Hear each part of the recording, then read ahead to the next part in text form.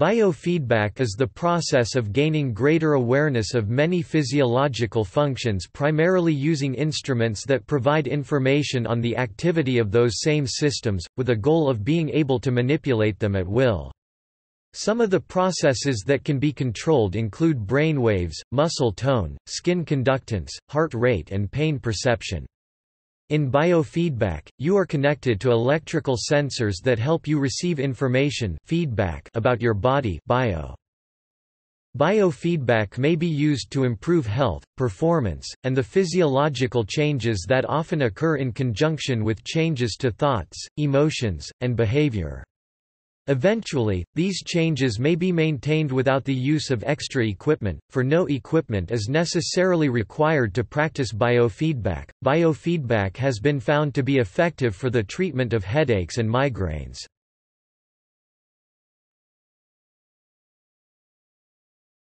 Topic: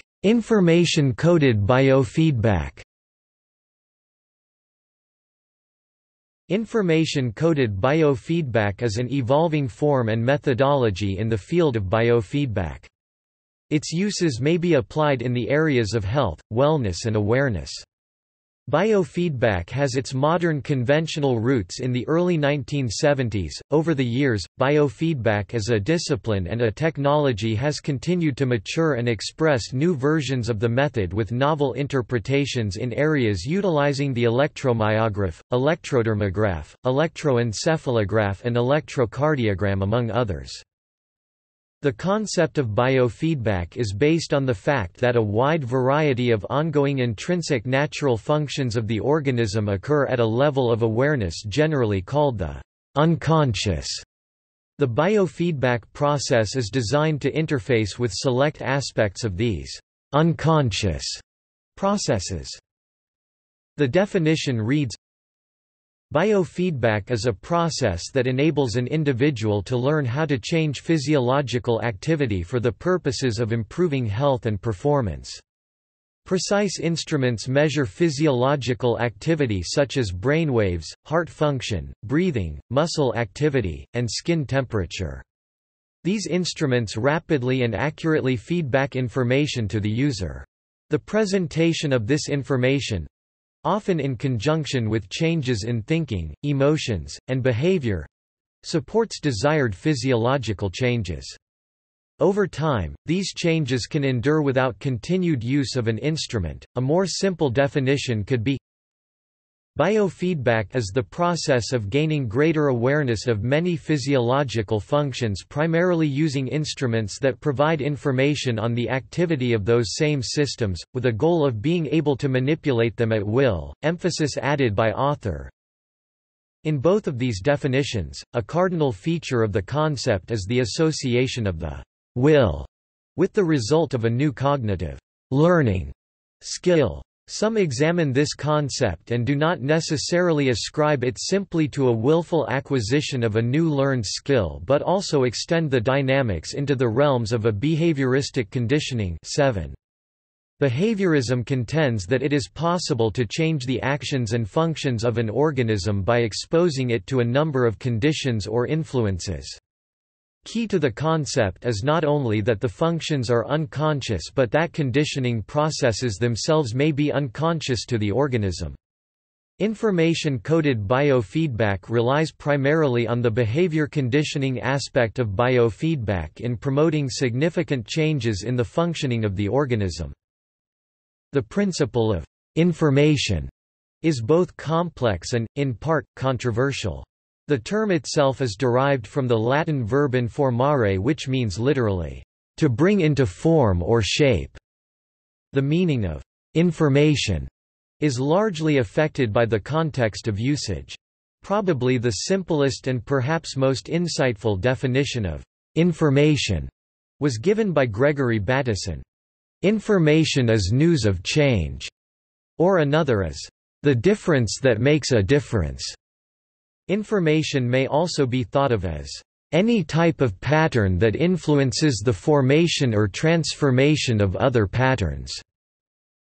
Recognizing the inherent complexity of an organism, information-coded biofeedback applies algorithmic calculations in a stochastic approach to identify significant probabilities in a limited set of possibilities.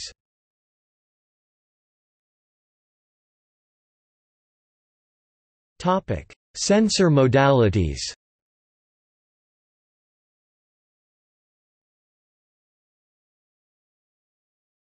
Topic: Electromyograph. An electromyograph (EMG) uses surface electrodes to detect muscle action potentials from underlying skeletal muscles that initiate muscle contraction. Clinicians record the surface electromyogram (SEMG) using one or more active electrodes that are placed over a target muscle and a reference electrode that is placed within 6 inches of either active. The SEMG is measured in microvolts millionths of a volt. .In addition to surface electrodes, clinicians may also insert wires or needles intramuscularly to record an EMG signal. While this is more painful and often costly, the signal is more reliable since surface electrodes pick up cross-talk from nearby muscles. The use of surface electrodes is also limited to superficial muscles, making the intramuscular approach beneficial to access signals from deeper muscles. The electrical activity picked up by the electrodes is recorded and displayed in the same fashion as the surface electrodes. Prior to placing surface electrodes, the skin is normally shaved, cleaned and exfoliated to get the best signal. Raw EMG signals resemble noise electrical signal not coming from the muscle of interest and the voltage fluctuates, therefore they are processed normally in three ways, rectification, filtering, and integration. This processing allows for a unified signal that is then able to be compared to other signals using the same processing techniques. Biofeedback therapists use EMG biofeedback when treating anxiety and worry, chronic pain, computer-related disorder, essential hypertension, headache migraine, mixed headache, and tension-type headache, low back pain, physical rehabilitation cerebral palsy, incomplete spinal cord lesions, and stroke, temporomandibular joint dysfunction TMD, torticollis, and fecal incontinence, urinary incontinence, and pelvic pain. Physical therapists have also used EMG biofeedback for evaluating muscle activation and providing feedback for their patients.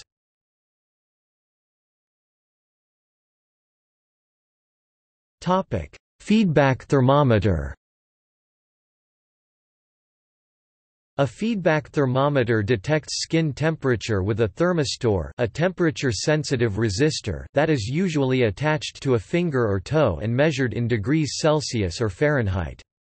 Skin temperature mainly reflects arterial diameter. Hand warming and hand cooling are produced by separate mechanisms, and their regulation involves different skills. Hand warming involves arterial vasodilation produced by a beta-2 adrenergic hormonal mechanism. Hand cooling involves arterial vasoconstriction produced by the increased firing of sympathetic C fibers. Biofeedback therapists use temperature biofeedback when treating chronic pain, edema, headache, migraine and tension type headache, essential hypertension, Raynaud's disease, anxiety, and stress.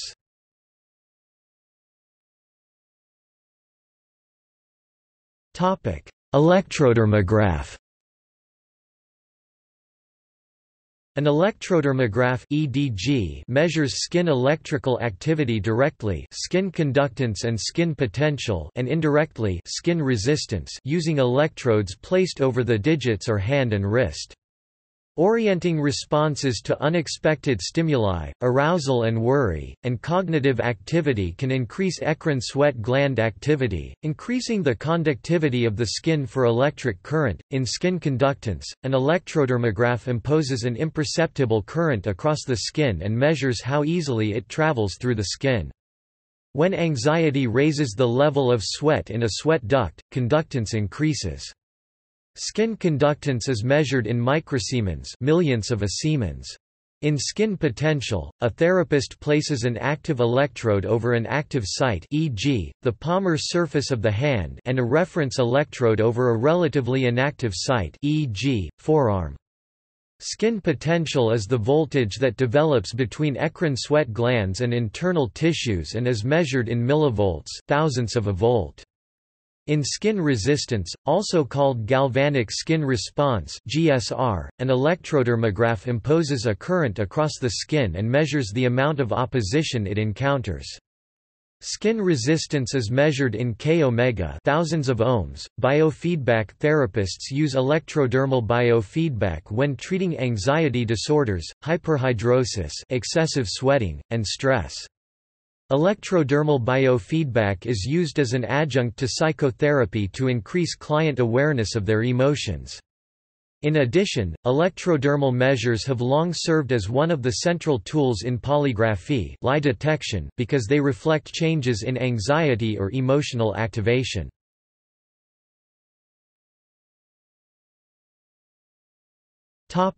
Electroencephalograph An electroencephalograph measures the electrical activation of the brain from scalp sites located over the human cortex.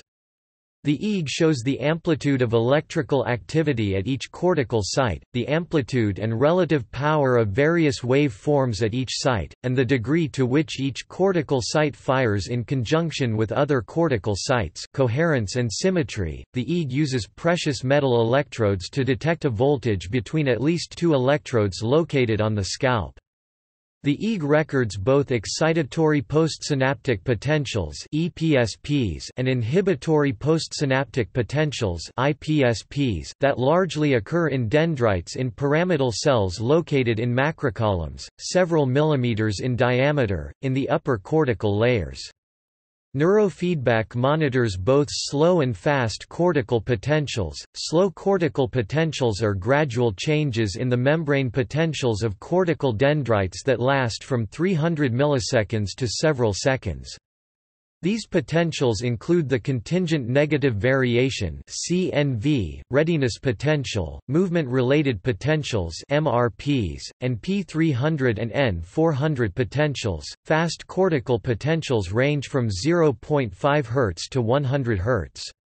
The main frequency ranges include delta, theta, alpha, the sensorimotor rhythm, low beta, high beta, and gamma.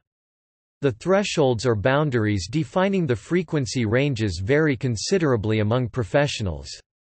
Fast cortical potentials can be described by their predominant frequencies, but also by whether they are synchronous or asynchronous wave forms. Synchronous wave forms occur at regular periodic intervals, whereas asynchronous wave forms are irregular. The synchronous delta rhythm ranges from 0.5 to 3.5 Hz. Delta is the dominant frequency from ages 1 to 2, and is associated in adults with deep sleep and brain pathology like trauma and tumors, and learning disability. The synchronous theta rhythm ranges from 4 to 7 Hz. Theta is the dominant frequency in healthy young children and is associated with drowsiness or starting to sleep, REM sleep, hypnagogic imagery intense imagery experienced before the onset of sleep, hypnosis, attention, and processing of cognitive and perceptual information. The synchronous alpha rhythm ranges from 8 to 13 Hz and is defined by its waveform and not by its frequency. Alpha activity can be observed in about 75% of awake, relaxed individuals and is replaced by low-amplitude desynchronized beta activity during movement, complex problem solving, and visual focusing. This phenomenon is called alpha blocking. The synchronous sensorimotor rhythm (SMR) ranges from 12 to 15 Hz and is located over the sensorimotor cortex, central sulcus. The sensorimotor rhythm is associated with the inhibition of movement and reduced muscle tone. The beta rhythm consists of asynchronous waves and can be divided into low beta and high beta ranges 13 to 21 Hz and 20 to 32 Hz. Low beta is associated with activation and focused thinking. High beta is associated with anxiety, hypervigilance, panic, peak performance, and worry. EEG activity from 36 to 44 Hz is also referred to as gamma. Gamma activity is associated with perception of meaning and meditative awareness. Neurotherapists use EEG biofeedback when treating addiction, attention deficit hyperactivity disorder (ADHD), learning disability, anxiety disorders including worry, obsessive compulsive disorder and post-traumatic stress disorder, depression, migraine, and generalized seizures.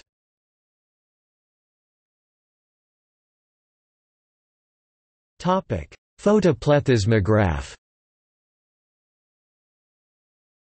A photoplethysmograph (PPG) measures the relative blood flow through a digit using a photoplethysmographic (PPG) sensor attached by a velcro band to the fingers or to the temple to monitor the temporal artery. An infrared light source is transmitted through or reflected off the tissue, detected by a phototransistor, and quantified in arbitrary units. Less light is absorbed when blood flow is greater, increasing the intensity of light reaching the sensor. A photoplethysmograph can measure blood volume pulse (BVP), which is the phasic change in blood volume with each heartbeat, heart rate, and heart rate variability (HRV), which consists of beat-to-beat -beat differences in intervals between successive heartbeats. A photoplethysmograph can provide useful feedback when temperature feedback shows minimal change. This is because the PPG sensor is more sensitive than a thermistor to minute blood flow changes. Biofeedback therapists can use a photoplethysmograph to supplement temperature biofeedback when treating chronic pain, edema, headache migraine and tension-type headache, essential hypertension, Raynaud's disease, anxiety, and stress.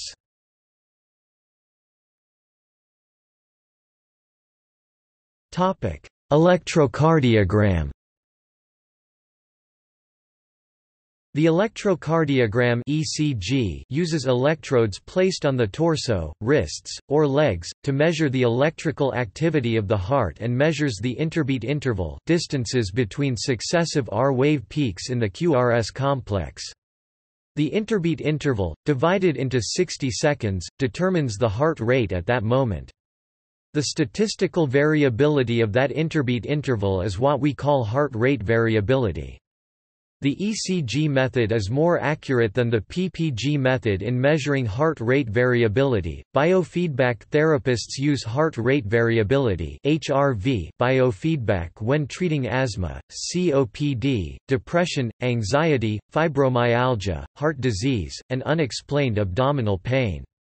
Research shows that HRV biofeedback can also be used to improve physiological and psychological well-being in healthy individuals. HRV data from both photoplethysmographs and electrocardiograms are analyzed via mathematical transformations such as the commonly used fast Fourier transform (FFT). The FFT splits the HRV data into a power spectrum, revealing the waveform's constituent frequencies. Among those constituent frequencies, high-frequency (HF) and low-frequency components are defined as above and below 0.15 Hz, respectively. As a rule of thumb, the LF component of HRV represents sympathetic activity, and the HF component represents parasympathetic activity. The two main components are often represented as a LF-HF ratio and used to express sympathovagal balance. Some researchers consider a third, medium frequency MF component from 0.08 Hz to 0.15 Hz, which has been shown to increase in power during times of appreciation.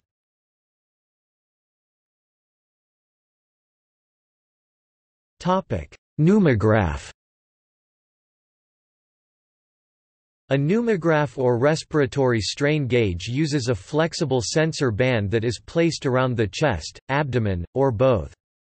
The strain gauge method can provide feedback about the relative expansion, contraction of the chest and abdomen, and can measure respiration rate the number of breaths per minute.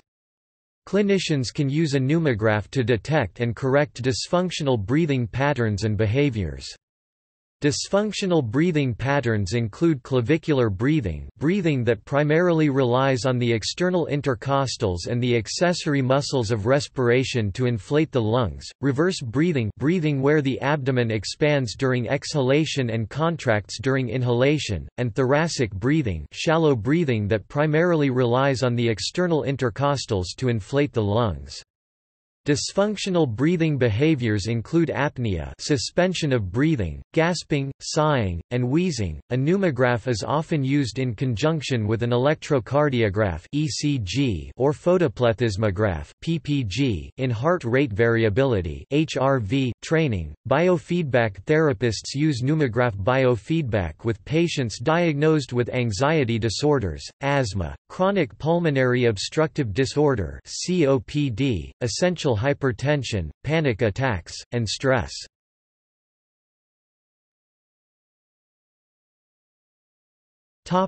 Capnometer A capnometer or capnograph uses an infrared detector to measure end-tidal CO2 the partial pressure of carbon dioxide in expired air at the end of expiration exhaled through the nostril into a latex tube. The average value of end-tidal CO2 for a resting adult is 5% 36 torr or 4.8 kilopascals. A capnometer is a sensitive index of the quality of patient breathing. Shallow, rapid, and effortful breathing lowers CO2, while deep, slow, effortless breathing increases it. Biofeedback therapists use capnometric biofeedback to supplement respiratory strain gauge biofeedback with patients diagnosed with anxiety disorders, asthma, chronic pulmonary obstructive disorder (COPD), essential hypertension, panic attacks, and stress.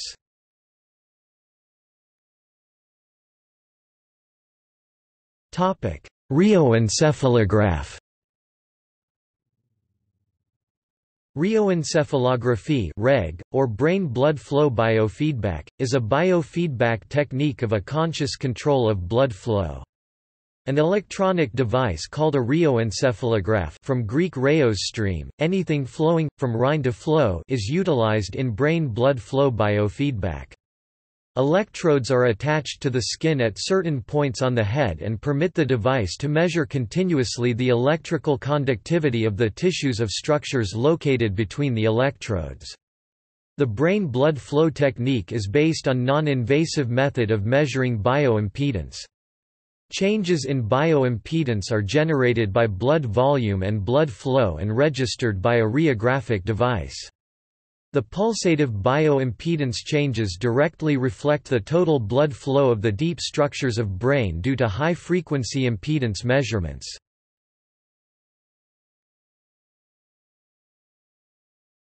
Hemoencephalography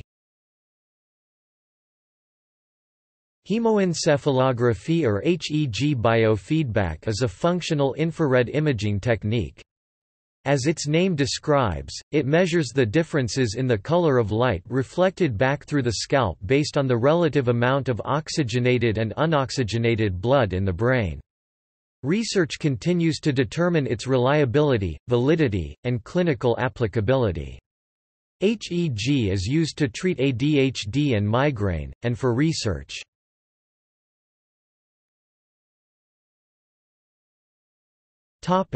Pressure Pressure can be monitored as a patient performs exercises while resting against an air-filled cushion. This is pertinent to physiotherapy. Alternatively, the patient may actively grip or press against an air-filled cushion of custom shape.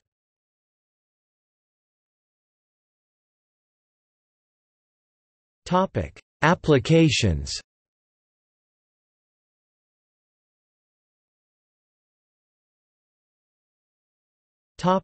Urinary incontinence Mowrer detailed the use of a bedwetting alarm that sounds when children urinate while asleep. This simple biofeedback device can quickly teach children to wake up when their bladders are full and to contract the urinary sphincter and relax the detrusor muscle, preventing further urine release.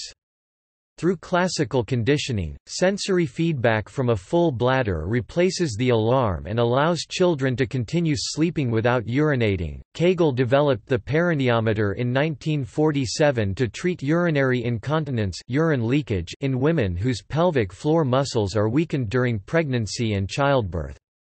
The perineometer, which is inserted into the vagina to monitor pelvic floor muscle contraction, satisfies all the requirements of a biofeedback device and enhances the effectiveness of popular Kegel exercises. Contradicting this, a 2013 randomized controlled trial found no benefit of adding biofeedback to pelvic floor muscle exercise in stress urinary incontinence.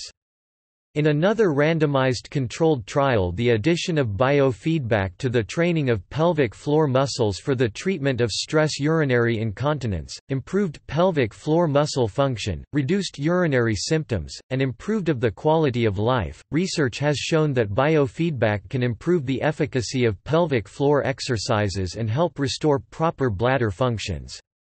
The mode of action of vaginal cones, for instance involves a biological biofeedback mechanism. Studies have shown that biofeedback obtained with vaginal cones is as effective as biofeedback induced through physiotherapy electrostimulation. In 1992, the United States Agency for Health Care Policy and Research recommended biofeedback as a first line treatment for adult urinary incontinence.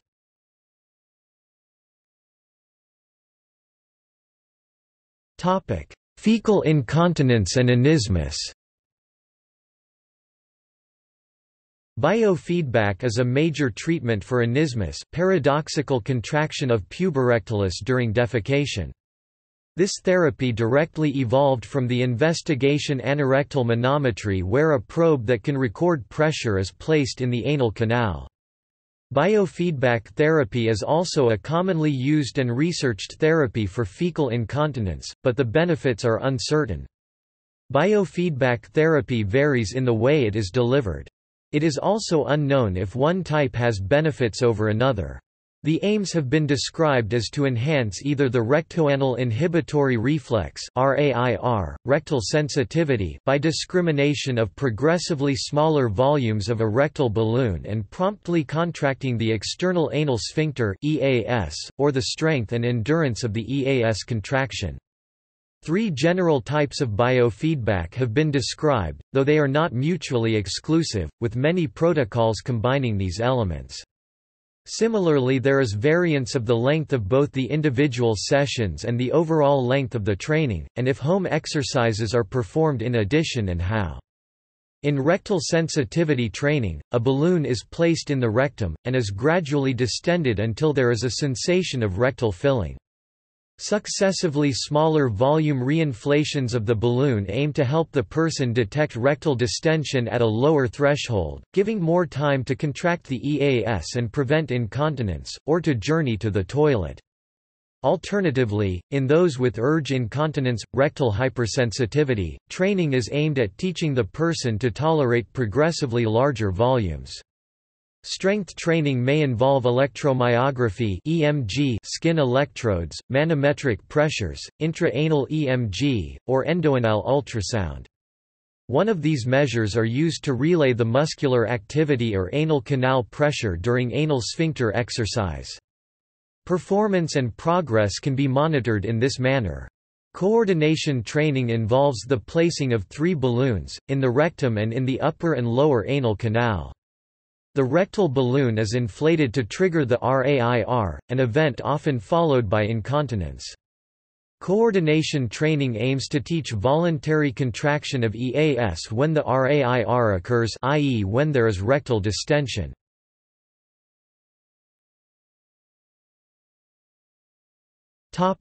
EEG Caton recorded spontaneous electrical potentials from the exposed cortical surface of monkeys and rabbits, and was the first to measure event-related potentials EEG responses to stimuli. In 1875, Danilevsky published Investigations in the Physiology of the Brain, which explored the relationship between the EEG and states of consciousness in 1877. Beck published studies of spontaneous electrical potentials detected from the brains of dogs and rabbits, and was the first to document alpha blocking, where light alters rhythmic oscillations. In 1890, Sherrington introduced the terms neuron and synapse and published The Integrative Action of the Nervous System in 1906. Pravdich-Neminsky photographed the EEG and event related potentials from dogs, demonstrated a 12 to 14 Hz rhythm that slowed during asphyxiation, and introduced the term electrocerebrogram in 1912. Forbes reported the replacement of the string galvanometer with a vacuum tube to amplify the EEG in 1920. The vacuum tube became the de facto standard by 1936. Berger 1924 published the first human EEG data. He recorded electrical potentials from his son Klaus's scalp. At first he believed that he had discovered the physical mechanism for telepathy but was disappointed that the electromagnetic variations disappear only millimeters away from the skull. He did continue to believe in telepathy throughout his life, however, having had a particularly confirming event regarding his sister. He viewed the EEG as analogous to the ECG and introduced the term electencephalogram. He believed that the EEG had diagnostic and therapeutic promise in measuring the impact of clinical interventions. Berger showed that these potentials were not due to scalp muscle contractions. He first identified the alpha rhythm, which he called the Berger rhythm, and later identified the beta rhythm and sleep spindles. He demonstrated that alterations in consciousness are associated with changes in the EEG and associated the beta rhythm with alertness. He described interictal activity potentials between seizures and recorded a partial complex seizure in 1933. Finally, he performed the first QEEG, which is the measurement of the signal strength of EEG frequencies. Adrian and Matthews confirmed Berger's findings in 1934 by recording their own EEGs using a cathode ray oscilloscope. Their demonstration of EEG recording at the 1935 Physiological Society meetings in England caused its widespread acceptance. Adrian used himself as a subject and demonstrated the phenomenon of alpha blocking, where opening his eyes suppressed alpha rhythms. Gibbs, Davis, and Lennox inaugurated clinical electroencephalography in 1935 by identifying abnormal EEG rhythms associated with epilepsy, including interictal spike waves and 3 Hz activity in absence seizures. Bremer used the EEG to show how sensory signals affect vigilance in 1935. Walter 1937, 1953 named the delta waves and theta waves, and the contingent negative variation CNV, a slow cortical potential that may reflect expectancy, motivation, intention to act, or attention. He located an occipital lobe source for alpha waves and demonstrated that delta waves can help locate brain lesions like tumors. He improved Berger's electroencephalograph and pioneered EEG topography. Kleitman has been recognized as the father of American sleep research for his seminal work in the regulation of sleep-wake cycles, circadian rhythms, the sleep patterns of different age groups, and the effects of sleep deprivation. He discovered the phenomenon of rapid eye movement REM sleep with his graduate student Aserinsky in 1953. Dement, another of Kleitman's students, described the EEG architecture and phenomenology of sleep stages and the transitions between them in 1955, associated REM sleep with dreaming in 1957, and documented sleep cycles in another species, cats, in 1958, which stimulated basic sleep research. He established the Stanford University Sleep Research Center in 1970. Andersen and Andersson 1968 proposed that thalamic pacemakers project synchronous alpha rhythms to the cortex via thalamocortical circuits. Kamiya 1968 demonstrated that the alpha rhythm in humans could be operantly conditioned. He published an influential article in Psychology Today that summarized research that showed that subjects could learn to discriminate when alpha was present or absent, and that they could use feedback to shift the dominant alpha frequency about 1 Hz. Almost half of his subjects reported experiencing a pleasant alpha state, characterized as an alert calmness. These reports may have contributed to the perception of alpha biofeedback as a shortcut to a meditative state. He also studied the EEG correlates of meditative states. Brown 1970 demonstrated the clinical use of alpha-theta biofeedback. In research designed to identify the subjective states associated with EEG rhythms, she trained subjects to increase the abundance of alpha, beta, and theta activity using visual feedback and recorded their subjective experiences when the amplitude of these frequency bands increased. She also helped popularize biofeedback by publishing a series of books, including New Mind, New Body 1974 and Stress and the Art of Biofeedback 1977. Mulholland and Peper 1971 showed that occipital alpha increases with eyes open and not focused, and is disrupted by visual focusing. A rediscovery of alpha blocking, Green and Green 1986 investigated voluntary control of internal states by individuals like Swami Rama and American Indian medicine man Rolling Thunder both in India and at the Menninger Foundation. They brought portable biofeedback equipment to India and monitored practitioners as they demonstrated self-regulation. A film containing footage from their investigations was released as Biofeedback, The Yoga of the West 1974. They developed alpha-theta training at the Menninger Foundation from the 1960s to the 1990s. They hypothesized that theta states allow access to unconscious memories and increase the impact of prepared images or suggestions. Their alpha-theta research fostered Peniston's development of an alpha-theta addiction protocol. Sterman 1972 showed that cats and human subjects could be operantly trained to increase the amplitude of the sensorimotor rhythm (SMR) recorded from the sensorimotor cortex. He demonstrated that SMR production protects cats against drug-induced generalized seizures tonic-clonic seizures involving loss of consciousness and reduces the frequency of seizures in humans diagnosed with epilepsy.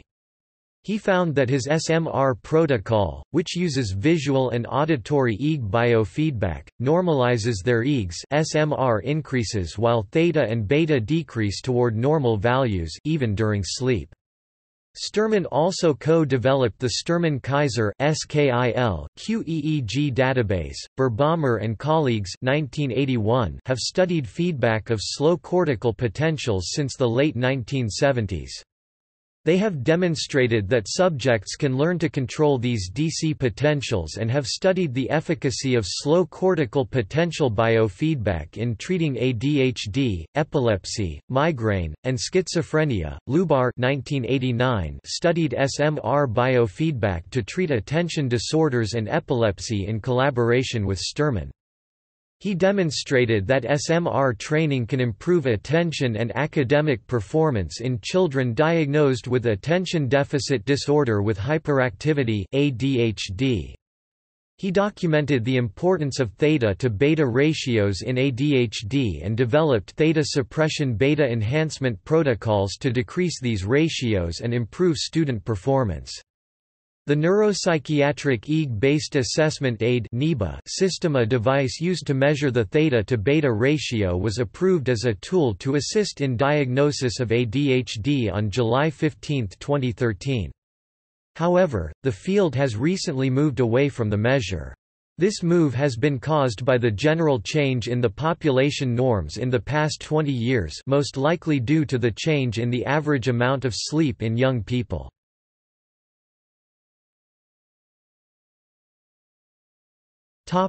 Electrodermal system.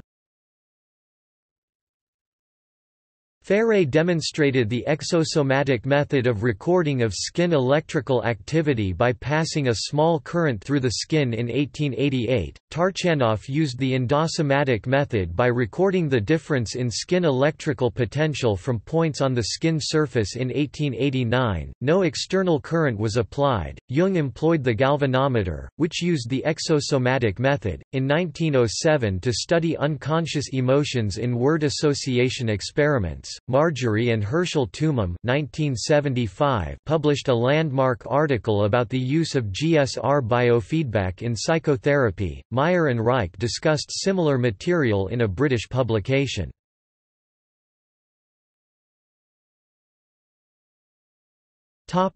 Musculoskeletal system Jacobson 1930 developed hardware to measure EMG voltages over time, showed that cognitive activity like imagery affects EMG levels, introduced the deep relaxation method progressive relaxation, and wrote Progressive Relaxation 1929 and You Must Relax 1934. He prescribed daily progressive relaxation practice to treat diverse psychophysiological disorders like hypertension. Several researchers showed that human subjects could learn precise control of individual motor units, motor neurons and the muscle fibers they control. Lindsley 1935 found that relaxed subjects could suppress motor unit firing without biofeedback training. Harrison and Mortensen 1962 trained subjects using visual and auditory EMG biofeedback to control individual motor units in the tibialis anterior muscle of the leg. Basmajian 1963 instructed subjects using unfiltered auditory EMG biofeedback to control separate motor units in the abductor abductor pollicis muscle of the thumb in his single motor unit training studies. His best subjects coordinated several motor units to produce drum rolls. Basmajian demonstrated practical applications for neuromuscular rehabilitation, pain management, and headache treatment. Marinacci (1960) applied EMG biofeedback to neuromuscular disorders where proprioception is disrupted, including Bell palsy, one-sided facial paralysis, polio, and stroke. While Marinacci used EMG to treat neuromuscular disorders, his colleagues used the EMG only for diagnosis. They were unable to recognize its potential as a teaching tool even when the evidence stared them in the face. Many electromyographers who performed nerve conduction studies used visual and auditory feedback to reduce interference when a patient recruited too many motor units. Even though they used EMG biofeedback to guide the patient to relax so that clean diagnostic EMG tests could be recorded, they were unable to envision EMG biofeedback treatment of motor disorders. Whatmore and Kohli 1968 introduced the concept of dysponesis misplaced effort to explain how functional disorders where body activity is disturbed develop. Bracing your shoulders when you hear a loud sound illustrates dysponesis, since this action does not protect against injury. These clinicians applied EMG biofeedback to diverse functional problems like headache and hypertension. They reported case follow-ups ranging from 6 to 21 years. This was long compared with typical 0 to 24 month follow-ups in the clinical literature. Their data showed that skill in controlling misplaced efforts was positively related to clinical improvement. Last, they wrote The Pathophysiology and Treatment of Functional Disorders 1974 that outlined their treatment of functional disorders. Wolf 1983 integrated EMG biofeedback into physical therapy to treat stroke patients and conducted landmark stroke outcome studies. Peper 1997 applied SEMG to the workplace, studied the ergonomics of computer use, and promoted healthy computing Taub 1999, 2006 demonstrated the clinical efficacy of constraint-induced movement therapy (CIMT) for the treatment of spinal cord injured and stroke patients.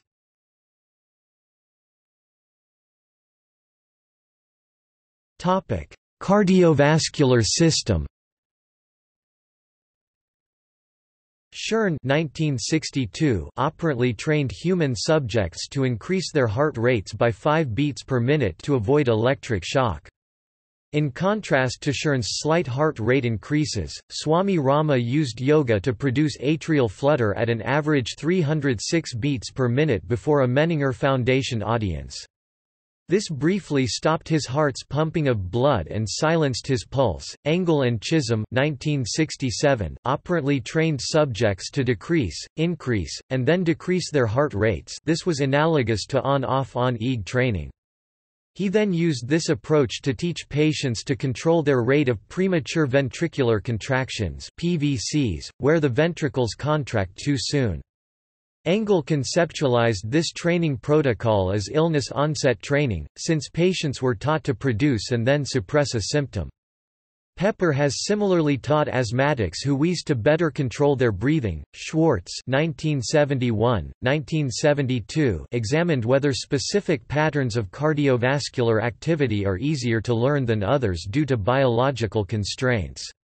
He examined the constraints on learning integrated two autonomic responses change in the same direction and differentiated two autonomic responses change inversely patterns of blood pressure and heart rate change. Schultz and Luthe 1969 developed autogenic training, which is a deep relaxation exercise derived from hypnosis. This procedure combines passive volition with imagery in a series of three treatment procedures standard autogenic exercises, autogenic neutralization, and autogenic meditation. Clinicians at the Menninger Foundation coupled an abbreviated list of standard exercises with thermal biofeedback to create autogenic biofeedback. Luthe 1973 also published a series of six volumes titled Autogenic Therapy. Fahrion and colleagues 1986 reported on an 18 to 26 session treatment program for hypertensive patients. The Menninger program combined breathing modification, autogenic biofeedback for the hands and feet, and frontal EMG training. The authors reported that 89% of their medication patients discontinued or reduced medication by one-half while significantly lowering blood pressure. While this study did not include a double-blind control, the outcome rate was impressive. Friedman and colleagues 1991 demonstrated that hand warming and hand cooling are produced by different mechanisms. The primary hand warming mechanism is beta-adrenergic hormonal, while the main hand cooling mechanism is alpha-adrenergic and involves sympathetic C fibers. This contradicts the traditional view that finger blood flow is controlled exclusively by sympathetic C fibers. The traditional model asserts that, when firing is slow, hands warm, when firing is rapid, hands cool. Friedman and colleagues' studies support the view that hand warming and hand cooling represent entirely different skills. Vaschillo and colleagues 1983 published the first studies of heart rate variability (HRV) biofeedback with cosmonauts and treated patients diagnosed with psychiatric and psychophysiological disorders. Lehrer collaborated with Smetankin and Potapova in treating pediatric asthma patients and published influential articles on HRV asthma treatment in the medical journal Chest.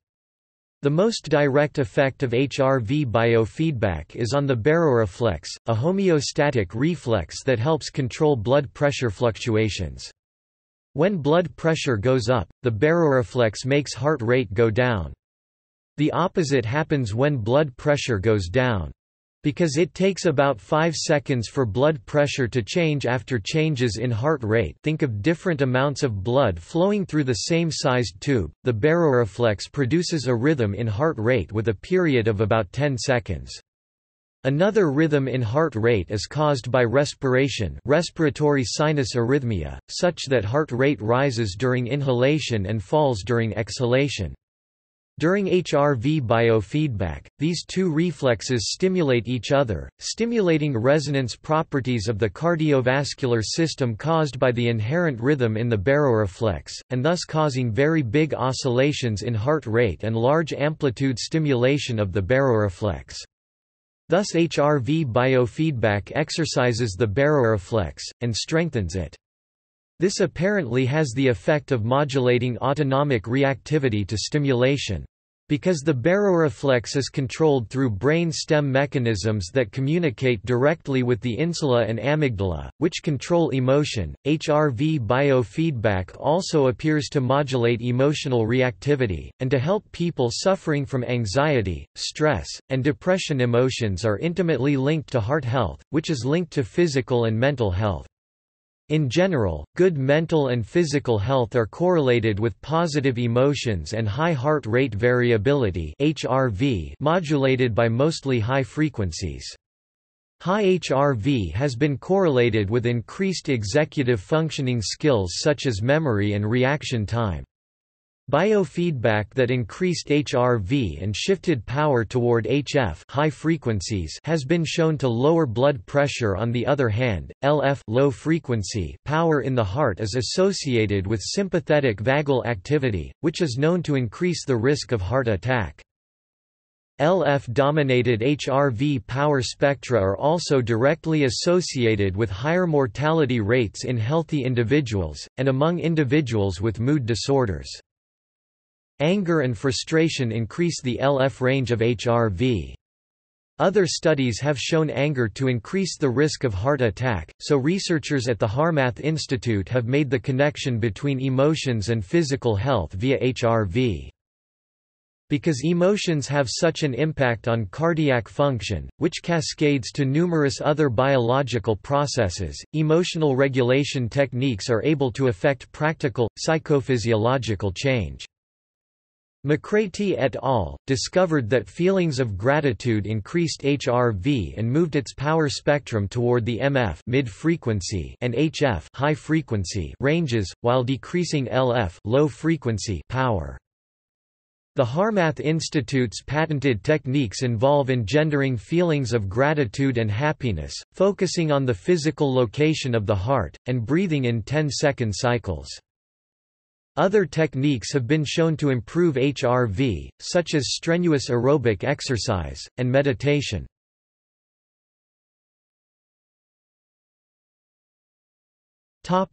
Pain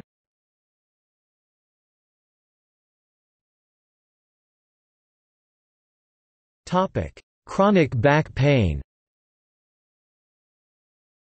Newton John, Spence, and Schotte 1994 compared the effectiveness of cognitive behavior therapy (CBT) and electromyographic biofeedback (EMG biofeedback) for 44 participants with chronic low back pain. Newton John et al. 1994 split the participants into two groups, then measured the intensity of pain, the participants' perceived disability, and depression before treatment, after treatment and again six months later. Newton John et al. 1994 found no significant differences between the group which received CBT and the group which received EMG biofeedback. This seems to indicate that biofeedback is as effective as CBT in chronic low back pain. Comparing the results of the groups before treatment and after treatment, indicates that EMG biofeedback reduced pain, disability, and depression as much as by half.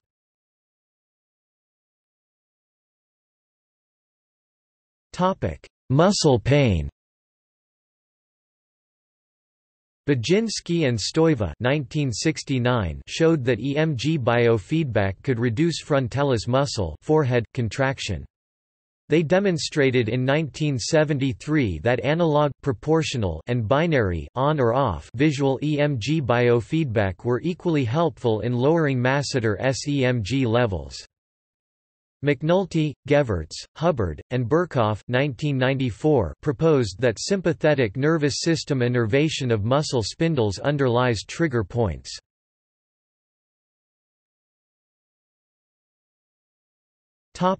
Tension headache Budzynski, Stoyva, Adler, and Mullaney 1973 reported that auditory frontalis EMG biofeedback combined with home relaxation practice lowered tension headache frequency and frontalis EMG levels. A control group that received noncontingent false auditory feedback did not improve. This study helped make the frontalis muscle the placement of choice in EMG assessment and treatment of headache and other psychophysiological disorders.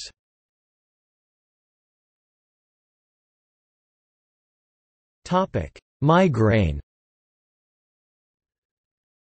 Sargent, Green, and Walters 1972, 1973 demonstrated that hand warming could abort migraines and that autogenic biofeedback training could reduce headache activity. The early Menninger migraine studies, although methodologically weak no pretreatment baselines, control groups, or random assignment to conditions, strongly influenced migraine treatment. A 2013 review classified biofeedback among the techniques that might be of benefit in the management of chronic migraine.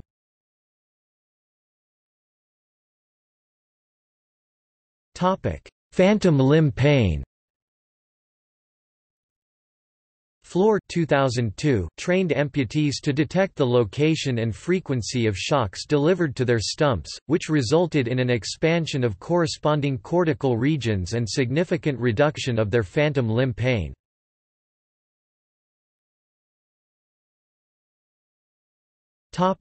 Financial decision making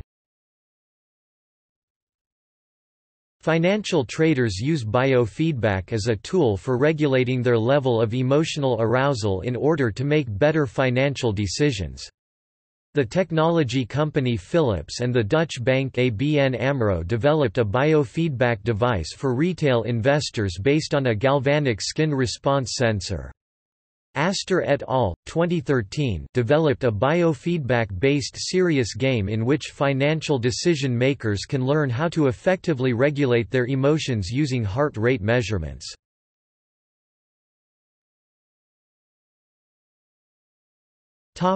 Stress reduction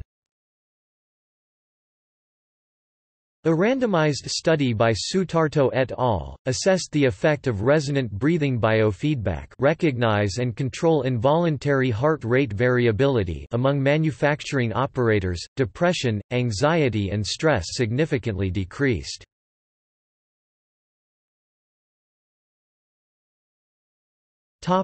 Macular disease of the retina A 2012 observational study by Pacella et al. found a significant improvement in both visual acuity and fixation treating patients suffering from age-related macular degeneration or macular degeneration with biofeedback treatment through MP1 microperimeter.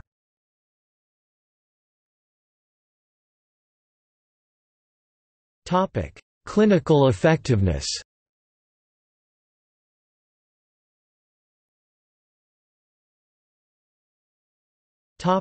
Research Moss, LeVaque, and Hammond 2004 observed that Biofeedback and neurofeedback seem to offer the kind of evidence-based practice that the healthcare establishment is demanding.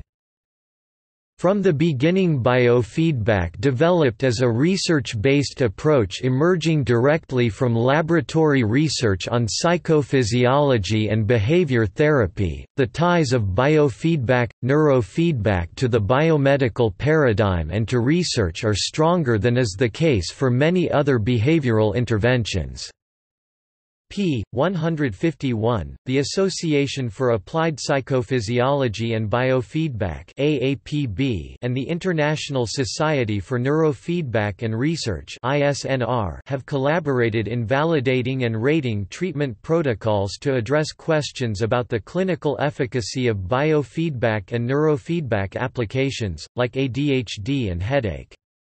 In 2001, Donald Moss, then president of the Association for Applied Psychophysiology and Biofeedback, and Jay Gunkelman, president of the International Society for Neurofeedback and Research, appointed a task force to establish standards for the efficacy of biofeedback and neurofeedback.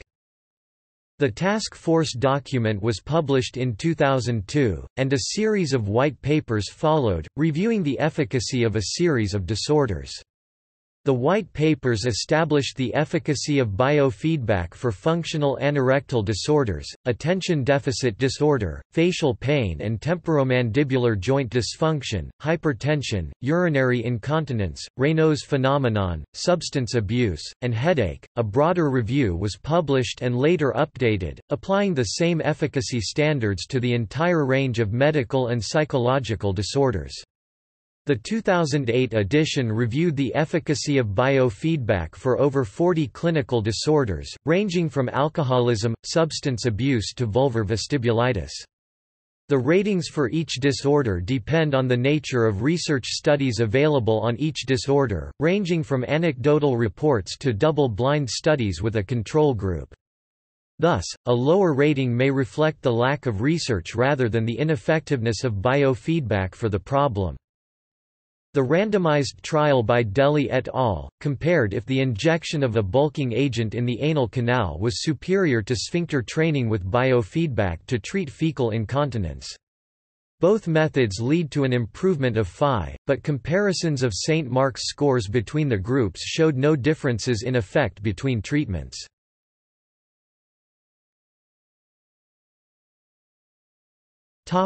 Efficacy Yucha and Montgomery's 2008 ratings are listed for the five levels of efficacy recommended by a joint task force and adopted by the boards of directors of the Association for Applied Psychophysiology and the International Society for Neuronal Regulation ISNR. From weakest to strongest, these levels include, not empirically supported, possibly efficacious, probably efficacious, efficacious, and efficacious and specific. Level 1, not empirically supported. This designation includes applications supported by anecdotal reports and or case studies in non-peer-reviewed venues. Yucha and Montgomery 2008 assigned eating disorders, immune function, spinal cord injury, and syncope to this category, level 2, possibly efficacious. This designation requires at least one study of sufficient statistical power with well-identified outcome measures but lacking randomized assignment to a control condition internal to the study. Yucha and Montgomery 2008 assigned asthma, autism, Bell palsy, cerebral palsy, COPD, coronary artery disease, cystic fibrosis, depression, erectile dysfunction, fibromyalgia, hand dystonia, irritable bowel syndrome, PTSD, repetitive strain injury, respiratory failure, stroke, tinnitus, and urinary incontinence in children to this category, level 3, probably efficacious. This designation requires multiple observational studies, clinical studies, waitlist-controlled studies, and within-subject and intrasubject replication studies that demonstrate efficacy. Yucha and Montgomery 2008 assigned alcoholism and substance abuse, arthritis, diabetes mellitus, fecal disorders in children, fecal incontinence in adults, insomnia, pediatric headache, traumatic brain injury, urinary incontinence in males, and vulvar vestibulitis vulvodynia to this category, level 4, efficacious. This designation requires the satisfaction of six criteria, a in a comparison with a no treatment control group, alternative treatment group, or sham placebo control using randomized assignment, the investigational treatment is shown to be statistically significantly superior to the control condition or the investigational treatment is equivalent to a treatment of established efficacy in a study with sufficient power to detect moderate differences, b. The studies have been conducted with a population treated for a specific problem, for whom inclusion criteria are delineated in a reliable, operationally defined manner. c. The study used valid and clearly specified outcome measures related to the problem being treated. d. The data are subjected to appropriate data analysis. E the diagnostic and treatment variables and procedures are clearly defined in a manner that permits replication of the study by independent researchers. F the superiority or equivalence of the investigational treatment has been shown in at least two independent research settings. Yucha and Montgomery 2008 assigned attention deficit hyperactivity disorder ADHD, anxiety, chronic pain, epilepsy, constipation adult, headache adult, hypertension, motion sickness, Raynaud's disease, and temporomandibular joint dysfunction to this category, level 5, efficacious and specific. The investigational treatment must be shown to be statistically superior to credible sham therapy, pill, or alternative bona fide treatment in at least two independent research settings. Yucha and Montgomery 2008 assigned urinary incontinence females to this category.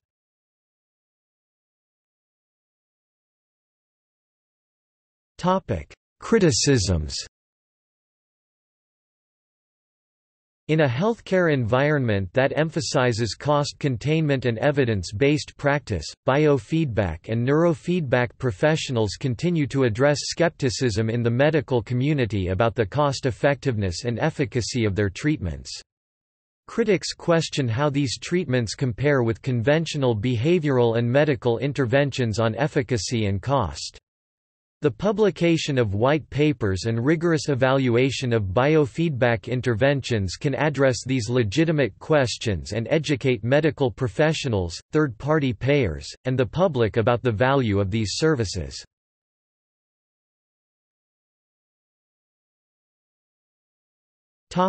Organizations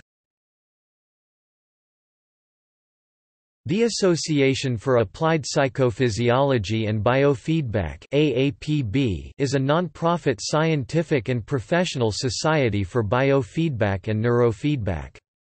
The International Society for Neurofeedback and Research ISNR is a non-profit scientific and professional society for neurofeedback.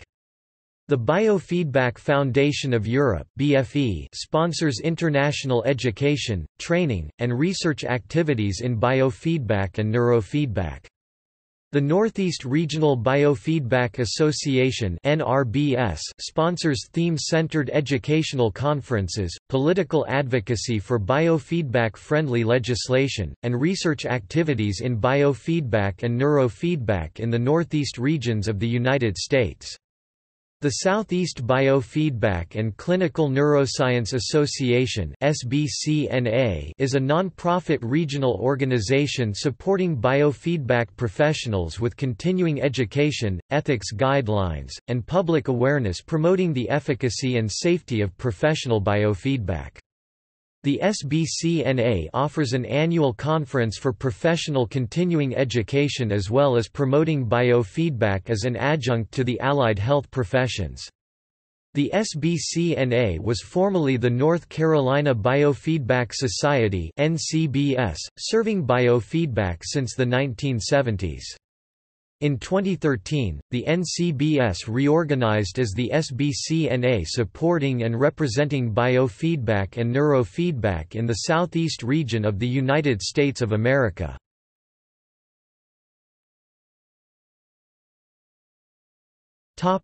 Certification The Biofeedback Certification International Alliance formerly the Biofeedback Certification Institute of America is a non-profit organization that is a member of the Institute for Credentialing Excellence ICE. BCIA offers biofeedback certification, neurofeedback also called EEG biofeedback certification, and pelvic muscle dysfunction biofeedback. BCIA certifies individuals meeting education and training standards in biofeedback and neurofeedback and progressively recertifies those satisfying continuing education requirements. BCIA certification has been endorsed by the Mayo Clinic, the Association for Applied Psychophysiology and Biofeedback AAPB, the International Society for Neurofeedback and Research ISNR, and the Washington State Legislature. The BCIA didactic education requirement includes a 48-hour course from a regionally accredited academic institution or a BCIA-approved training program that covers the complete general bio biofeedback blueprint of knowledge and study of human anatomy and physiology. The general biofeedback blueprint of knowledge areas include, I orientation to biofeedback, 2. Stress, coping, and illness, 3. Psychophysiological recording, IV. Surface electromyographic SEMG applications, V autonomic nervous system ANS applications, V electroencephalographic applications, 7 adjunctive interventions, and 8 Professional conduct – Applicants may demonstrate their knowledge of human anatomy and physiology by completing a course in human anatomy, human physiology, or human biology provided by a regionally accredited academic institution or a BCIA-approved training program or by successfully completing an anatomy and physiology exam covering the organization of the human body and its systems. Applicants must also document practical skills training that includes 20 contact hours supervised by a BCIA-approved mentor designed to them teach how to apply clinical biofeedback skills through self-regulation training, 50 patient, client sessions, and case conference presentations. Distance learning allows applicants to complete didactic coursework over the Internet. Distance mentoring trains candidates from their residence or office. They must recertify every four years, complete 55 hours of continuing education during each review period or complete the written exam, and attest that their license, credential or their supervisor's license, credential has not been suspended, investigated, or revoked.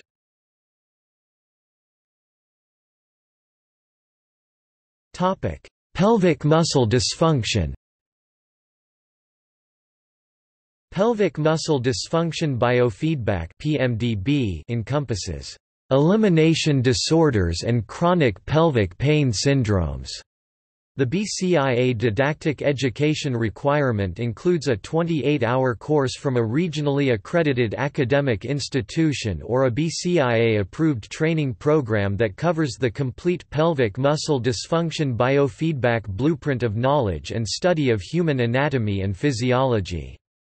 The pelvic muscle dysfunction biofeedback areas include, I applied psychophysiology and biofeedback, 2. Pelvic floor anatomy, assessment, and clinical procedures, 3. Clinical disorders, bladder dysfunction, IV. Clinical disorders, bowel dysfunction, and V. Chronic pelvic pain syndromes. Currently, only licensed healthcare providers may apply for this certification. Applicants must also document practical skills training that includes a four-hour practicum, personal training session and 12 contact hours spent with a BCIA-approved mentor designed to teach them how to apply clinical biofeedback skills through 30 patient, client sessions and case conference presentations. They must recertify every three years, complete 36 hours of continuing education or complete the written exam, and attest that their license, credential has not been suspended, investigated, or revoked.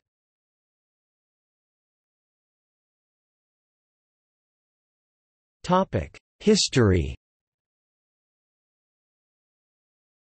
Claude Bernard proposed in 1865 that the body strives to maintain a steady state in the internal environment milieu intérieur, introducing the concept of homeostasis. In 1885, J.R. Tarchanov showed that voluntary control of heart rate could be fairly direct cortical autonomic and did not depend on «cheating» by altering breathing rate. In 1901, J. H. Bair studied voluntary control of the retrahens aurem muscle that wiggles the ear, discovering that subjects learned this skill by inhibiting interfering muscles and demonstrating that skeletal muscles are self-regulated. Alexander Graham Bell attempted to teach the deaf to speak through the use of two devices. The phonautograph, created by Eduard Léon Scotts, and a manometric flame. The former translated sound vibrations into tracings on smoked glass to show their acoustic waveforms, while the latter allowed sound to be displayed as patterns of light. After World War II, mathematician Norbert Wiener developed cybernetic theory, that proposed that systems are controlled by monitoring their results. The participants at the landmark 1969 conference at the Surfrider Inn in Santa Monica coined the term biofeedback from Wiener's feedback. The conference resulted in the founding of the Biofeedback Research Society, which permitted normally isolated researchers to contact and collaborate with each other, as well as popularizing the term biofeedback, the work of B.F. Skinner led researchers to apply operant conditioning to biofeedback, decide which responses could be voluntarily controlled and which could not. In the first experimental demonstration of biofeedback Shearn used these procedures with heart rate. The effects of the perception of autonomic nervous system activity was initially explored by George Mandler's group in 1958. In 1965, Maya combined classical and operant conditioning to train subjects to change blood vessel diameter, eliciting and displaying reflexive blood flow changes to teach subjects how to voluntarily control the temperature of their skin. In 1974, H. D. Kimmel trained subjects to sweat using the galvanic skin response. Hinduism, Biofeedback systems have been known in India and some other countries for millennia. Ancient Hindu practices like yoga and pranayama breathing techniques are essentially biofeedback methods. Many yogis and sadhus have been known to exercise control over their physiological processes. In addition to recent research on yoga, Paul Brunton, the British writer who travelled extensively in India, has written about many cases he has witnessed.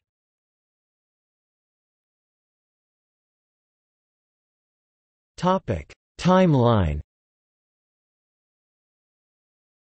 1958 G. Mandler's group studied the process of autonomic feedback and its effects. 1962 D. Shearn used feedback instead of conditioned stimuli to change heart rate. 1962 Publication of Muscles Alive by John Basmajian and Carlo De Luca 1968 Annual Veterans Administration research meeting in Denver that brought together several biofeedback researchers 1969 April, Conference on Altered States of Consciousness, Council Grove, Kays, October, Formation and First Meeting of the Biofeedback Research Society BRS, Surfrider Inn, Santa Monica, CA, co-founder Barbara B. Brown becomes the Society's first president 1972 Review and Analysis of Early Biofeedback Studies by D. Shearn in the Handbook of Psychophysiology .1974 Publication of the Alpha Syllabus, a handbook of human EEG alpha activity and the first popular book on biofeedback, New Mind, New Body December, both by Barbara B. Brown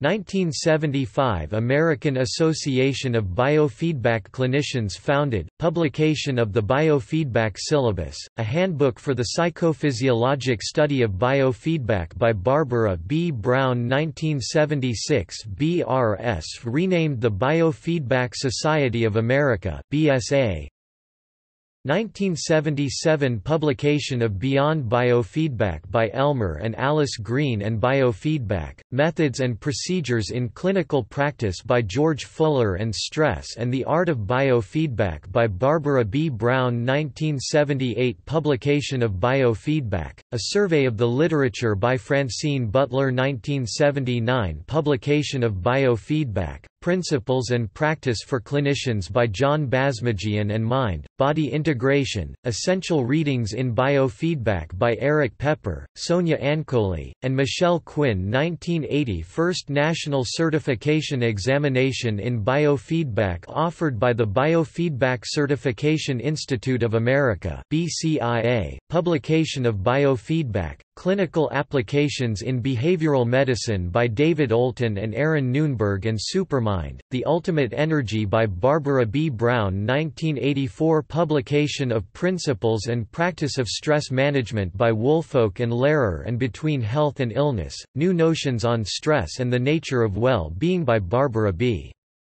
Brown 1984 publication of The Biofeedback Way to Starve Stress, by Mark Golan in Prevention Magazine 1984-1987 Publication of Biofeedback, A Practitioner's Guide by Mark Schwartz 1989 BSA renamed the Association for Applied Psychophysiology and Biofeedback 1991 First National Certification Examination in Stress Management offered by BCIA 1990 1994 brain wave and EMG sections established within AAPB 1995 Society for the Study of Neuronal Regulation SSNR founded 1996 Biofeedback Foundation of Europe BFE established 1999 SSNR renamed the Society for Neuronal Regulation SNR 2002 SNR renamed the International Society for Neuronal Regulation ISNR 2000 2003 publication of the Neurofeedback book by Thompson and Thompson 2004 publication of Evidence-Based Practice in Biofeedback and Neurofeedback by Carolyn Yucha and Christopher Gilbert 2006 ISNR renamed the International Society for Neurofeedback and Research ISNR 2008 Biofeedback Neurofeedback Alliance formed to pool the resources of the AAPB, BCIA, and ISNR on Joint Initiatives 2008 Biofeedback Alliance and Nomenclature Task Force define Biofeedback 2009 The International Society for Neurofeedback and Research defines Neurofeedback 2010 Biofeedback Certification Institute of America renamed the Biofeedback Certification International Alliance BCIA.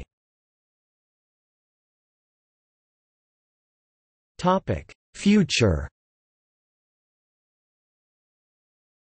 Christopher deCharms of Omneuron in San Francisco in conjunction with Stanford University School of Medicine has developed a real-time fMRI for the purpose of training the brain to activate its own endogenous opiates. deCharms believes this will revolutionize the treatment of chronic pain. The patient can control his own pain by visually looking at his RT-fMRI, watching his own reactions in real time, and then blocking the pathways causing pain. deCharms mentions that clinical trials with RT-fMRI is measuring a 44 to 64% decrease in chronic pain. With eight participants in the study, deCharms et al. 2005 demonstrated that subjects can control the pain of heat stimulus, by visually observing in real time their brain activity. The subjects were instructed to use techniques such as changing the focus of their attention to the pain, and changing the emotional value of the pain.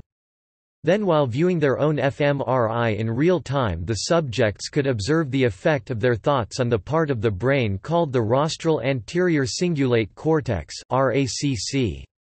When the subject controlled the PA the virtual flame on the fMRI got dimmer. Results from this study indicate two things, one, that subjects can learn to voluntarily control brain activity in a specific region of the brain, and two, there is a significant increase in the ability of healthy subjects to control their pain with repeated training. This study was then repeated with eight patients with chronic intractable pain. The results showed that these patients were successful in reducing their pain rating by 64% using the McGill Pain Questionnaire.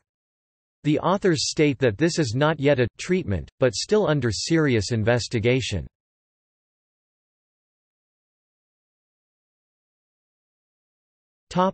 In popular culture Biofeedback data and biofeedback technology are used by Massimiliano Peretti in a contemporary art environment, the Amygdalae Project. This project explores the way in which emotional reactions filter and distort human perception and observation. During the performance, biofeedback medical technology, such as the EEG, body temperature variations, heart rate, and galvanic responses, are used to analyze an audience's emotions while they watch the video art. Using these signals, the music changes so that the consequent sound environment simultaneously mirrors and influences the viewer's emotional state. More information is available at the website of the CNRS French National Centre of Neural Research. Charles Wehrenberg implemented competitive relaxation as a gaming paradigm with the Will Ball games circa 1973. In the first biomechanical versions, comparative GSR inputs monitored each player's relaxation response and moved the will ball across a playing field appropriately using stepper motors. In 1984, Wehrenberg programmed the will ball games for Apple II computers. The will ball game itself is described as pure competitive relaxation. Brain ball is a duel between one player's left and right brain hemispheres. Mood ball is an obstacle-based game. Psycho dice is a psycho-kinetic game.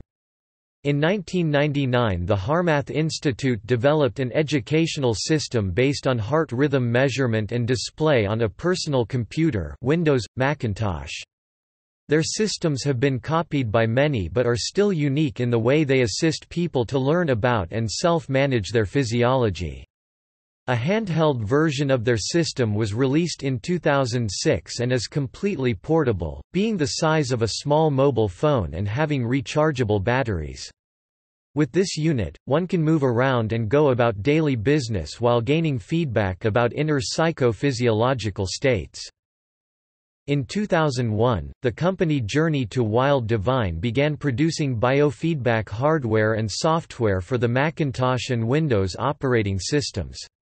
Third-party and open-source software and games are also available for the Wild Divine hardware. Tetris 64 makes use of biofeedback to adjust the speed of the Tetris puzzle game. David Rosenboom has worked to develop musical instruments that would respond to mental and physiological commands. Playing these instruments can be learned through a process of biofeedback. In the mid-1970s, an episode of the television series The Bionic Woman featured a doctor who could heal himself using biofeedback techniques to communicate to his body and react to stimuli. For example, he could exhibit super powers, such as walking on hot coals, by feeling the heat on the sole of his feet and then convincing his body to react by sending large quantities of perspiration to compensate. He could also convince his body to deliver extremely high levels of adrenaline to provide more energy to allow him to run faster and jump higher. When injured, he could slow his heart rate to reduce blood pressure, send extra platelets to aid in clotting a wound, and direct white blood cells to an area to attack infection. In the science fiction book Quantum Lens by Douglas E. Richards, biofeedback is used to enhance certain abilities to detect quantum effects that give the user special powers.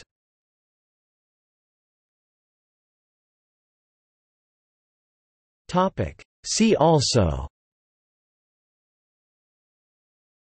Journey to Wild Divine, a biofeedback-based, multi-sensor, game-like software package Polygraph, uses exact same sensors as biofeedback devices.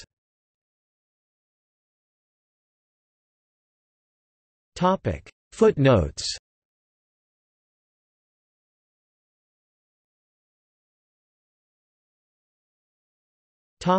External links